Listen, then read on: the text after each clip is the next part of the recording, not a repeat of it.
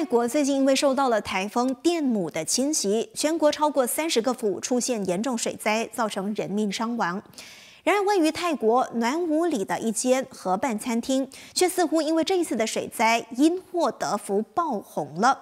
尽管台风暴雨导致河水暴涨倒灌，餐厅淹到了，就是水位高涨，是涨到了膝盖的位置。但是业者呢，他们反而是选择反其道而行，将水景餐厅这个噱头进行到底，结果成功吸引了不少的食客前来感受水中烤肉、水中用餐的滋味。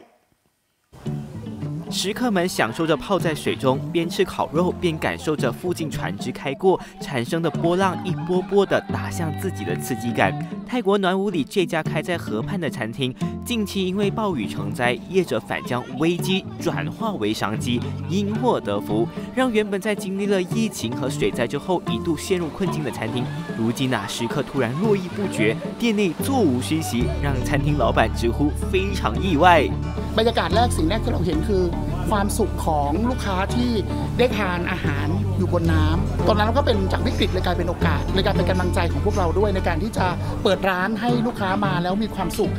面对逆境的时候，该如何随遇而安？商家这样的聪明逆向操作固然值得借鉴参考，但也叫人不得不正视导致全球各地灾难频频发生的极端气候课题。